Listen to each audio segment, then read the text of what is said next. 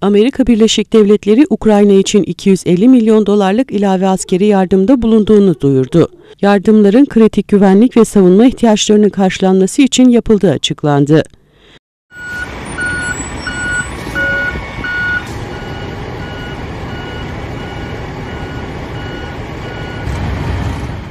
Amerika Birleşik Devletleri Rusya ve Ukrayna arasındaki savaşın son bulmaması için Ukrayna'ya askeri yardımlarını sürdürüyor.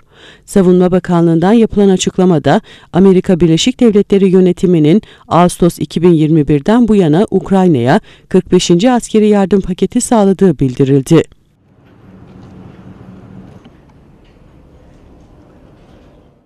250 milyon dolar tutarındaki ek yardım paketinin Ukrayna'nın Rusya'nın devam eden savaşına karşı koymasına yardımcı olacak ek hava savunma malzemeleri, topçu mühimmatı, mayın temizleme ekipmanları, roketler, tıbbi araçlar, yedek parçalar ve savaş alanında kullanacak diğer ekipmanları içerdiği kaydedildi.